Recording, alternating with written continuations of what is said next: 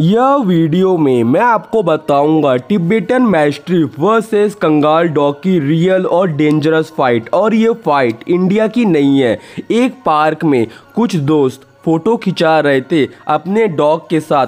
तो वहाँ एक ओनर के पास टिबेटन मैस्ट्रिप था और उनका एक फ्रेंड जिनके पास कंगाल डॉग था, वो थोड़ा लेट आया और दूर से चलते चलते आ रहा था। जैसे ही दोनों डॉग आसपास आए तो एक दूसरे को देख के भौंकने लगे और दोनों ओनर संभाल नहीं पा रहे थे। लेकिन वो दोस्त टिबेटन मैस्ट्रिप के साथ फ़ोटो खिंचा चुके थे और वो बोले कि, जाके ये टिबेटन मैस्ट्रीफ को खम्बे में बाँध दो। तब तक अपन कंगाल डॉग के साथ फ़ोटो खिंचा लेंगे, क्योंकि दोनों डॉग के साथ एक साथ में फ़ोटो खिंचाना पॉसिबल नहीं था। फिर उस ओनर ने जाके टिबेटन मैस्ट्रिफ को खम्बे में बाँध दिया। फिर वो लोग कंगाल डॉग के साथ फ़ोटो खिंचाना स्टार्ट कर दिए और वहाँ टिबेटन मैस्ट्रिफ अकेला था और वो चैन को तोड़ने की कोशिश कर रहा था। फिर कुछ देर बाद टिबेटन मैस्ट्रिफ ने अपनी पूरी पावर से उस चैन को तोड़ दिया और जाके कंगाल डॉग के सामने आ गया।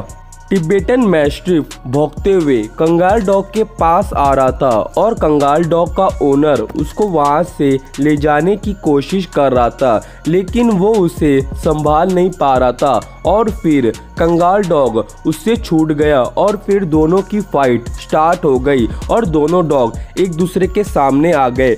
टिबेटन मैस्ट्री पूरा स्टार्टिंग में कंगाल डॉग के ऊपर चढ़ गया और उसे दबोच लिया और उसे काटना स्टार्ट कर दिया। लेकिन कंगाल डॉग वहाँ से हट के टिबेटन मैस्ट्रीफ के पीछे टांग में ज़ोर से काट दिया और उसे पकड़ लिया। फिर कंगाल डॉग ने टिबेटन मैस्ट्रीफ के शोल्डर के साइड में काट लिया और टिबेटन मैस्ट्रीफ ने अपनी पूरी पावर से कंगाल डॉग को दूर कर दिया और उसके चेहरे में काट दिया। तब तक ओनर ट्राई कर रहे थे कि दोनों डॉग को अलग करने का, लेकिन दोनों डॉग इतने अग्रेसिव थे कि वो आपस में फाइट कर रहे थे।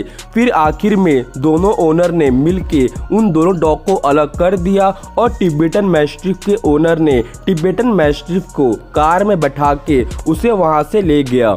एंड में यह पता चला कि दोनों डॉग ज़्यादा घायल हुए थे और वो दोनों डॉग जल्दी रिकवर भी कर गए। टिबेटन मैस्टिफ और कंगाल डॉग की ये जो फाइट हुई थी, जो कि असल में डेंजरस और ये रियल फाइट है तो इस फाइट की आपको वीडियो यूट्यूब में देखने नहीं मिलेगी क्योंकि ये फाइट रिकॉर्ड ही नहीं हुई। इससे रिलेटेड न्यूज़ आई थी, जिसको पढ़ के मैं आपको बता रहा हूँ। अगर आपको ये वीडियो अच्छी लगी है तो आप लाइक कर देना और अपने दोस्तों को शेयर करो ये वीडियो और उन्हें दिखाओ कि डॉग्स फाइट ऐसी होती है। और अगर आप ऐसी और वीडियो चाहते हो तो आप मेरे चैनल को सब्सक्राइब कर देना। मैं आप लोगों के लिए ऐसी और वीडियो डालते रहूँगा। अपना और अपने डॉग का ध्यान रखना। और हाँ दोस्तों, घर पर ही रहना। बाय